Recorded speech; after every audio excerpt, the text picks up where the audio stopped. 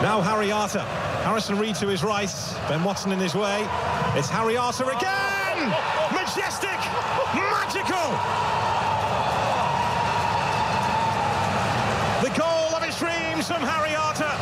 And after a false restart, Fulham are finding their rhythm now. The goal was dreams. Wow, wow, wow. 25 yards out, Harry Arter. That was a very important goal for Fulham about three weeks ago now against Nottingham Forest and has put them in part into the playoffs. They are up against Cardiff tomorrow. They have a two goal lead in their Craven Cottage tomorrow. Very happy to say Harry Arter, the man who scored that goal and who's been on the show multiple times, is with us again. Harry, thanks for the time. How are you? Yeah, not too bad. Thanks, guys. Yourself? Yeah, very well. Great to have you with us. I know you're injured at the moment. We might as well relive that goal for a second. It was a beauty.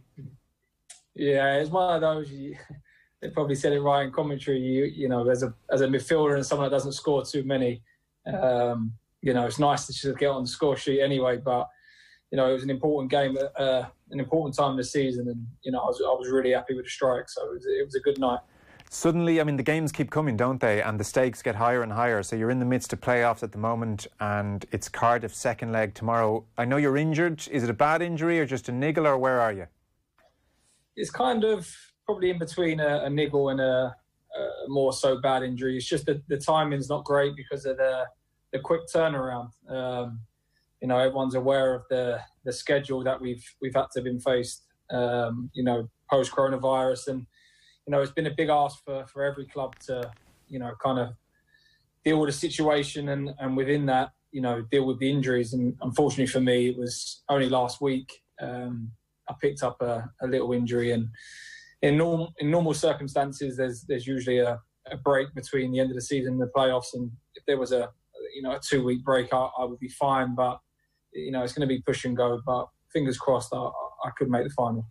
It's been a weird season, obviously, by normal circumstances. How have you been going generally? We'll get we'll get to lockdown in a second, but I know you played 28 times this year, which is a decent size.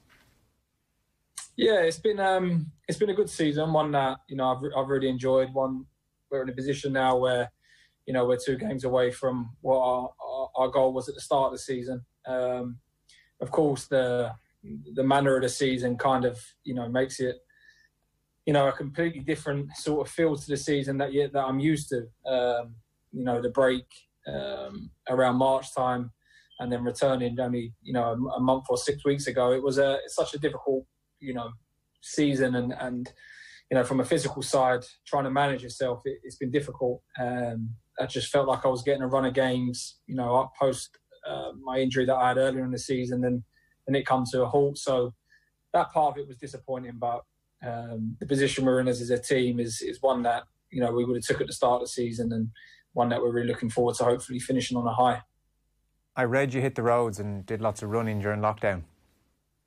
Yeah, that probably um, that probably didn't help me to be honest because as footballers and all players would be aware, you know, the surfaces that we're used to at, at training grounds and, and, games, you know, the, the pitches are like carpet, and I think your body kind of, you know, gets used to that sort of surface, and then you're out road running, and you know your, your body's not overly used to it and you pick up little niggles. But that was that was the position every player faced themselves in. You know all the mm. gyms were shut uh, training grounds were, were off limits so it was it was back to the real old school of, of road running and and just trying to you know keep yourself fit what were you clocking up on a good day uh, the best I got up to was 12 kilometers, which for me, you know, gone are the days now where you know pre-seasons about distance and and doing them long slog runs. It's all short, sharp stuff. So I feel my era kind of missed that sort of pre-season phase, and I, am quite thankful for that to be honest. but it was quite nice, to, you know, have a different sort of training. It was completely put on by,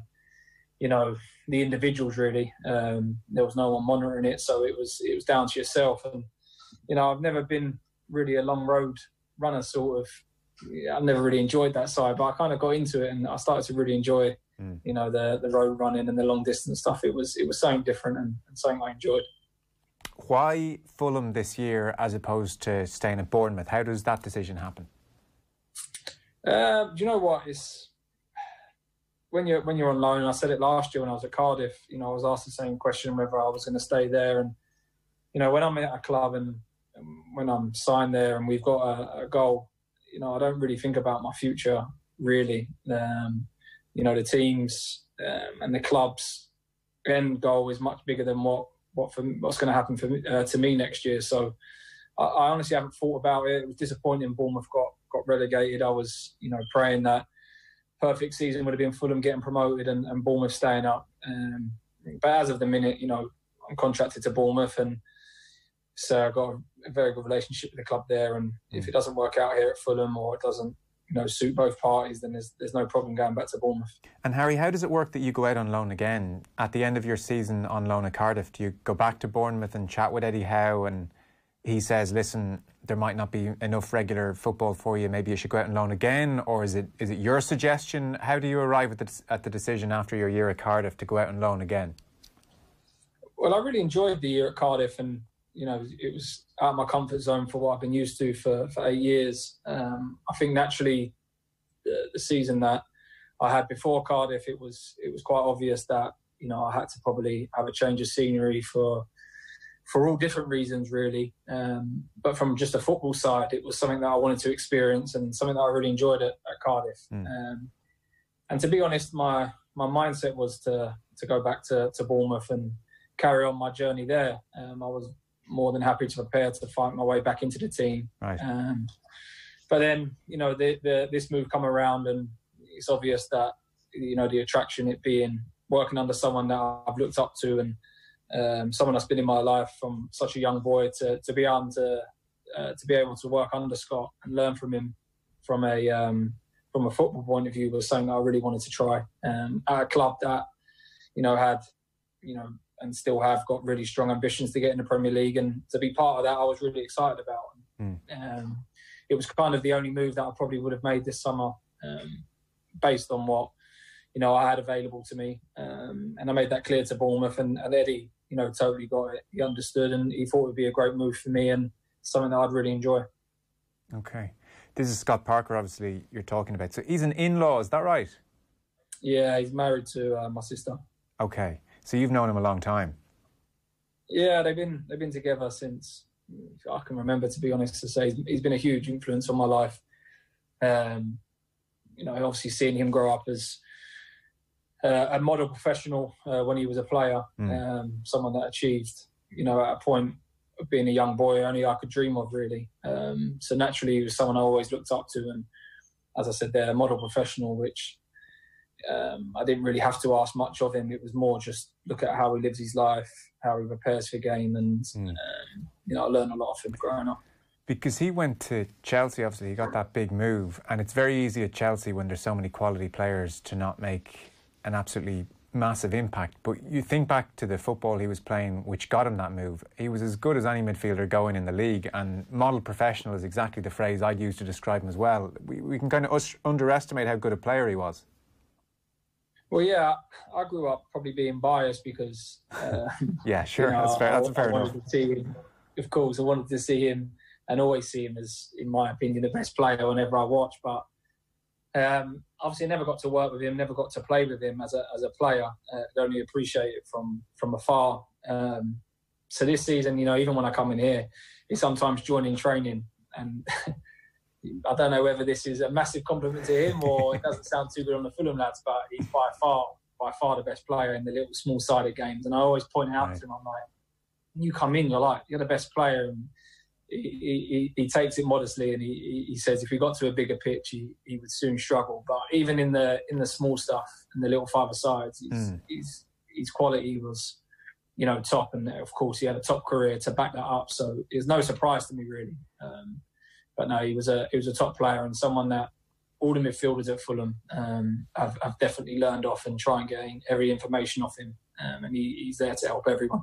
I would suspect you enjoyed the football he's trying to play as well. It's very much possession based. I think Fulham across the championship have had the second highest percentage of possession and certainly attempt the most passes. On all the stats, it points to possession based football. So I suspect that's right in your wheelhouse rather than trucking up and down the pitch with the ball going over your head. Yeah, he had a um, he had a clear philosophy and identity of how he wanted to become successful as a manager, and I'm always quite um, you know adverse to to saying one style works and one style doesn't. I think you know when you get it right, ball possession is without doubt the most prettiest and, and in my opinion, the best way to play football. But as a manager, I think you have to, you know, identify what your team's strengths are. Um, you know, I look at Cardiff as an example. Last season when we went up and I joined there, it was, you know, obvious from the outset that we wasn't going to be such a, a, a possession-based team, mm. and I, I, genuinely believe that was the best um, best chance for us to stay up as a team. Mm. Um, if we would have went toe to toe with some of the teams in the league, um, you know, i know we ended up getting relegated, but I don't think it, we would have put up as much of a fight as we did. Um, and same here at Fulham. You know, it could have easily gone another way. Scott could have decided to go long ball, but he, he looked at the players we've got. Um, the technical side of our team is is very high, and it would definitely suits the style of players that we got. So I think, you know, the style is important, but it's more based on what your your individuals that you've got in your team that are suited to. When will you decide on your future? I, I, I, presume in some ways it's dependent on Bournemouth. It's dependent on whether Fulham get up to the Premier League or not. So there's a lot of ifs, buts, and maybes there. Do you have any idea what will happen next season just yet? No, honestly, I, I, haven't got a clue. The the, the deal initially was um, I had to make uh, 30 starts for Fulham, and if they got promoted, there was some sort of automatic um, uh, deal triggered. But that obviously isn't going to happen now. Um, just through the lack of starts. So it'll be, you know, a, a decision that's out of my hands. Um, one that, you know, I think the business side of football this summer is going to be uh, a lot lower than it has been in previous years mm. for obvious reasons. And how quick the turnaround is from, you know, the season ending, especially us being in the playoffs to, you know, the start date of pre-season. I think we're looking at the, the 17th or the 20th of August, which, you know, is literally two weeks. Um, from from when we finished. So I think anyone involved in a transfer, they know nine times out of ten it, it, takes more than a week, two weeks, three weeks. So as a as an individual, I'm just trying to you know detach myself from from that situation. I feel lucky I've got you know a contract you know at Bournemouth that I can go back to. I'm not worried about that side of things, which you know sadly a lot of players are going to be in a position this year where you know they haven't got a contract, and mm. as I said there, the the financial implications of of what coronavirus has done is going to, you know, really hit a lot of people hard. So I'm not, I'm not thinking selfishly at all. It's, it's more just I want to try and play a part in Fulham going up and, and then taking it from there. And how's your game? How's your form? How are you feeling about things?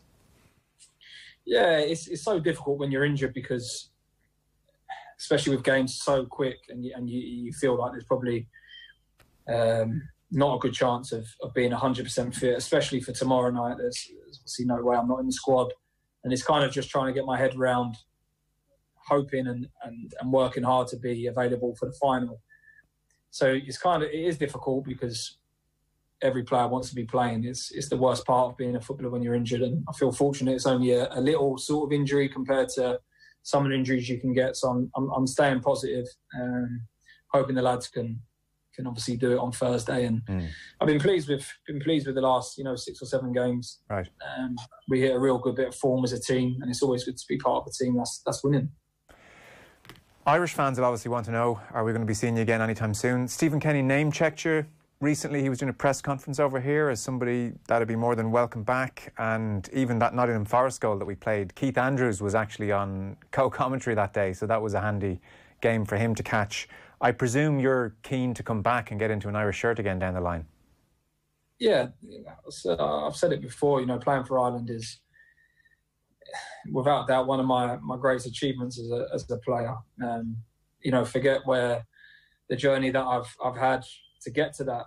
You know, even if I would have started off in the Premier League and, and was able to to play for Ireland at international um, senior level, it would have been something that I'd always dreamed of. So never would I close the door on it, um, especially not after speaking to to Stephen. Um, I think he he done the rounds with the players and spoke to you know the players that were involved with with Mick, and it was nice to to be involved in that. Um, he seemed keen to you know hopefully get me over, um, fitness related and, and form related really. Mm.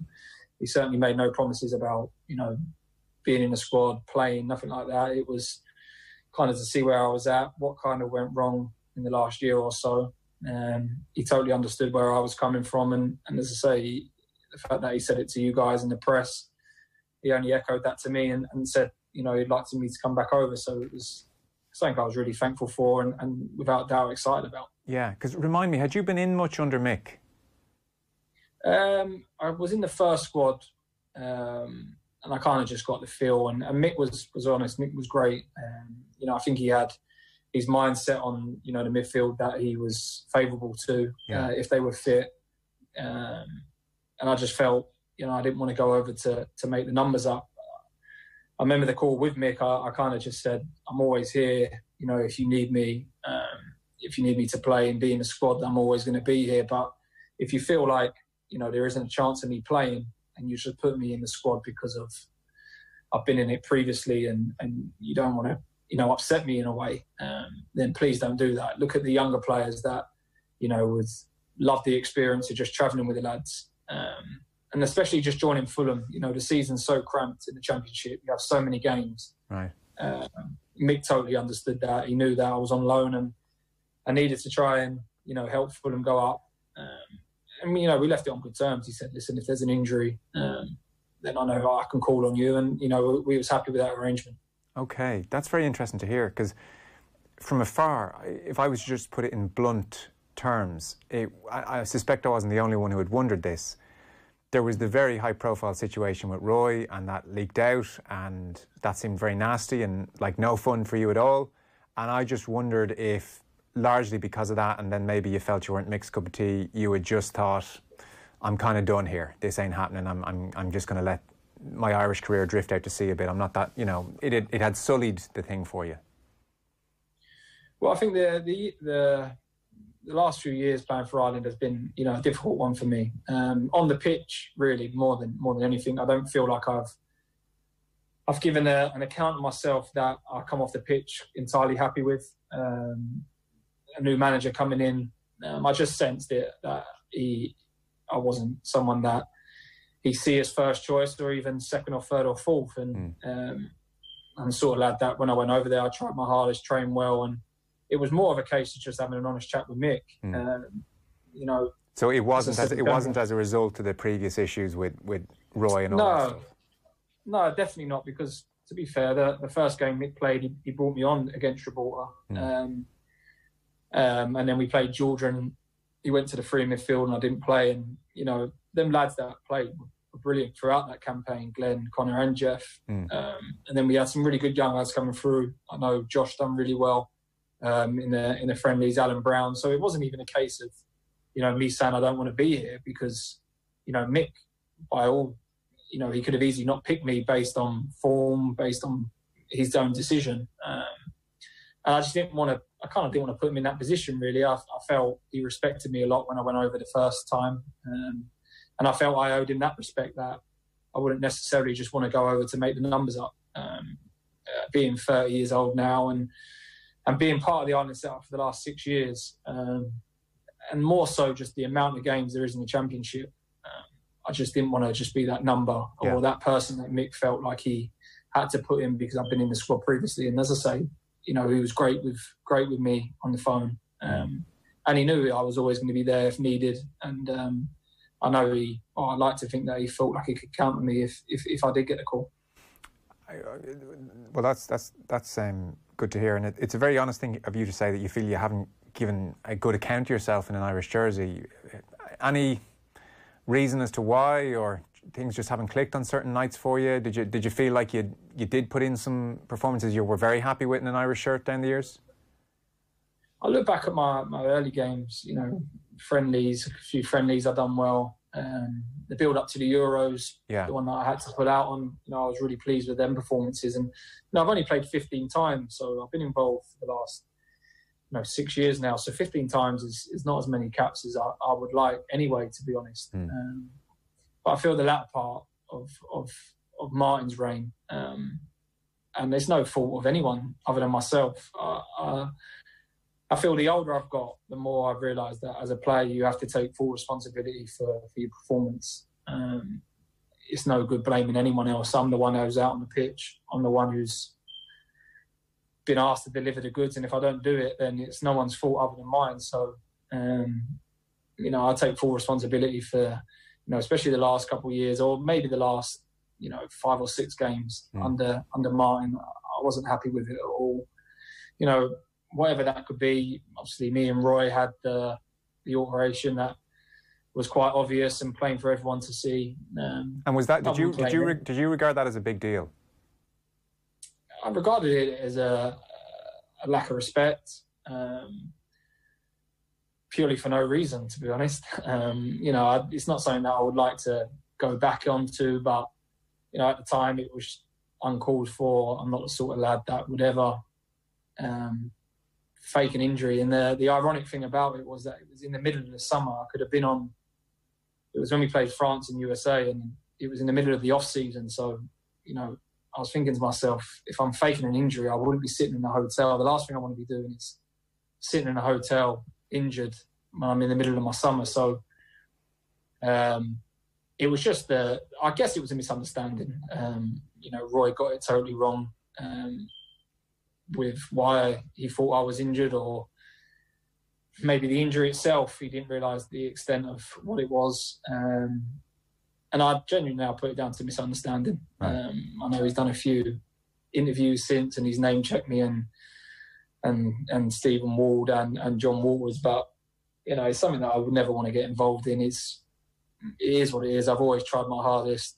Um, I wasn't prepared to let someone accuse me of faking an injury. And if you look at it from an obvious outset, if I'm faking an injury, I wouldn't be doing it in the off season when I could be on holiday. I would, um, I certainly wouldn't be sitting in a hotel in Dublin. I would be on a beach somewhere enjoying the sun. So um, mm. I was disappointed with with that whole situation. But you know, for me, me and Roy spoke about it. good four or five months after, and to me, it was it was finished. Right. Okay. So you did speak and you did put it to bed. Yeah, put it to bed. Yeah, I, I made it clear to my me and Roy hadn't spoke. Um, I didn't want to go home mid trip. I was really disappointed with with with being accused of that. Um, I decided just to not cause a fuss. Uh, I didn't want to storm out or anything like that. Um, so I stayed for the rest of the trip, um, even though I made it clear to Martin that I wasn't happy with it out of respect to, to Martin more than anyone, to be honest. Um, I didn't want to just leave midway through um, the week before the game, so I decided to stay. And I kind of made a decision then that you know I, I need to take a time away from this. I, something I wasn't prepared to accept at the time. Mm. And then eventually, me and Roy got round to speaking, and it was it was done. Right. Okay. So you did you had a good relationship with Martin by the sounds of things. Yeah, I, you know, Martin gave me my my debut um, when some managers easily wouldn't. I was only playing in the championship at the time, you know, off it. A good season with Bournemouth, of course, and you know I was really pleased with that year. Um, but I was so thankful for for the opportunities he, he gave me. Um, some of my performances, as I said to you earlier, I don't feel was good enough, but I felt a real belief in Martin mm. um, towards me. Um, he put me in um, after performances that potentially some managers wouldn't. Um, put me in for probably one of the biggest games of my career um, against Wales. Um, and I'd like to feel I repaid him that night. And going back to the Euros, you know, I would have been in, according, you know, speaking to Martin before that, I would have been in the squad. So for him to put that trust in me, to put me in the squad, it was something I'd always respect. And um, no, I, I, really enjoyed working with Martin.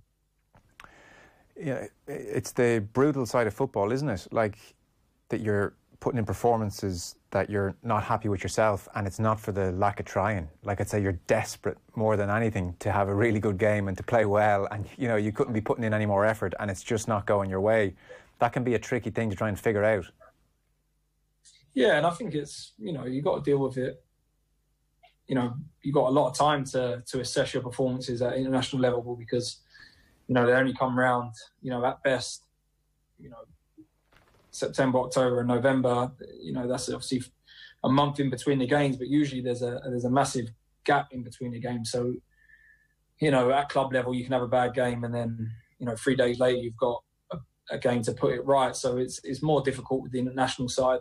Um, but it's something that you know, international level was uh, a completely different experience to club level. So mm. something that potentially I have to, you know, grasp better and and try and assess better. And as I say, I always I've always given my all for Ireland. Um, always tried to be there you know, playing through, you know, injuries at times when potentially wasn't the right thing to do. Um, Right, okay. Well, well, well, then I can see how you're a bit peeved when you're accused of being injured and, and or fake an injury. And look, that's even Roy himself didn't react well to being accused of that. Was that relationship generally okay? Was that, or was that an ongoing issue for you? Um, no, I didn't think there was, you know, any problems with Roy until until that trip. And then, you know, I don't want to speak out of turn because Sure. I don't know whether Roy's just said he- he got the wrong end of the stick, and you know, sometimes he can go overboard. Um, eh, whether he was just saying that just to, you know, get me back into the squad, and you know, all the media side stuff was was closed on it, but you know, he seemed um, genuine that you know, he, he, he accepted that the, the situation he might have read wrong. Um, Okay, fair enough. so yeah, I'd like to. I'd like to think that was put to bed. Yeah, fair enough, fair enough. And look, it's the world of football as well, a little bit. That's kind of, I'm sure it's not the first or last time someone screamed at you in the last 15 years.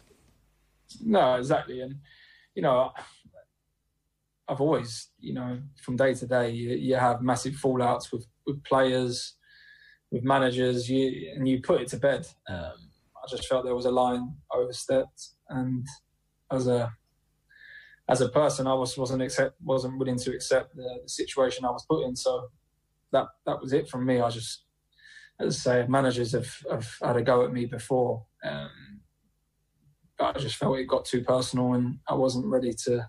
I wasn't accepting it. Yeah, fair enough. Well, listen, that's a couple of years ago now. Hopefully, things go well for Fulham tomorrow. You get the body back in order, and, and maybe there's Premier League football or something on the horizon. Either way, we might see you around Ireland camp in the not so distant future. But for the time being, Harry, thanks for the time. Much appreciated. No worries. Thank you very much.